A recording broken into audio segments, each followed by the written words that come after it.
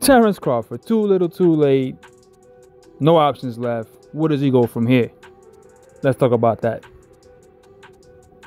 Welcome back to Boxing Unwrapped. If you're new here, please like and subscribe down below. Comment. I take all criticism seriously. I'm an artist that sometimes shares his art on this platform, and I analyze boxing because it's one of my favorite things to do. Now, let's talk about Terence Crawford. Oh, and oh, please, please do subscribe. I'm trying to hit 500 um, subs. Um, I road to 1,000. So, any help I can get, I greatly appreciate it.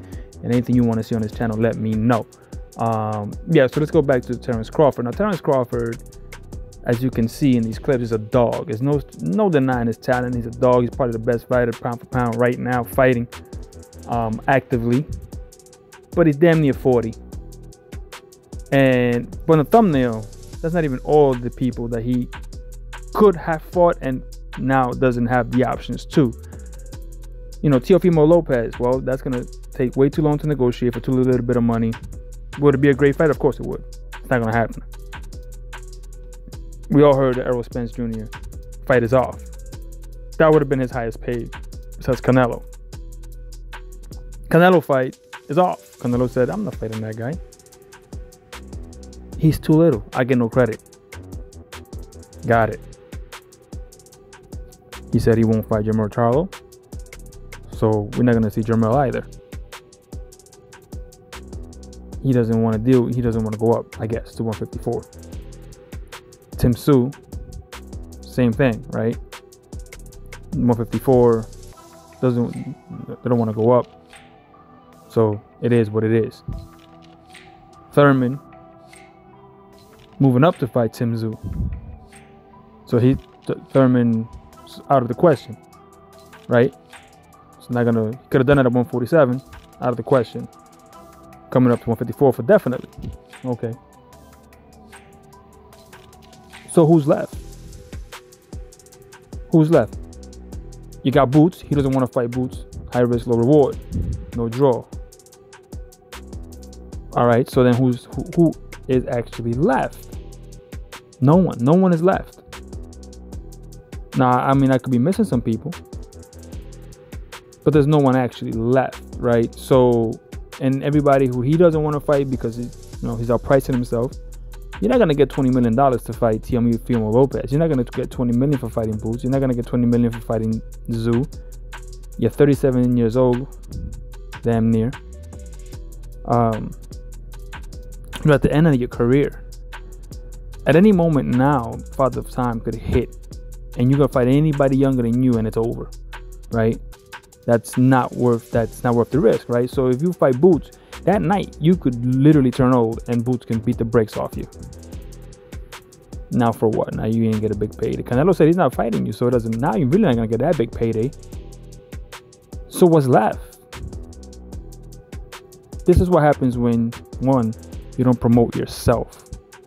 And two, when you re-sign with a promoter who had no real interest in you and give you a bargain bin deal. Now with his bargain bin deal, mind you, is millions of dollars. I don't have that. He does. But in comparison to other people, that was Bob Arum's biggest thing. He doesn't engage. He doesn't promote himself. He's a hell of a fighter. He's one of the greats, but he doesn't engage.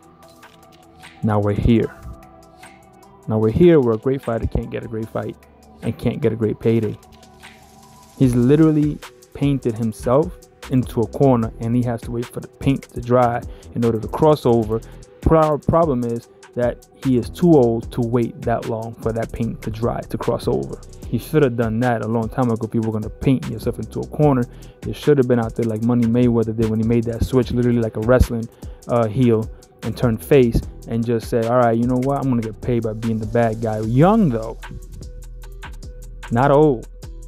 By this time, Mayweather was beyond paid. Beyond paid. None of his pay per views went over anything. Like he doesn't. He's not a draw. Nobody says I need. I'm gonna go and buy this pay per view with Terence Crawford tonight fighting X Fighter. All the while, Errol Spence, he fought the Danny Garcias he fought the, the other Garcia. His first name escapes me. Uh, you know, he fought Ugas. He was gonna fight Manny Pacquiao.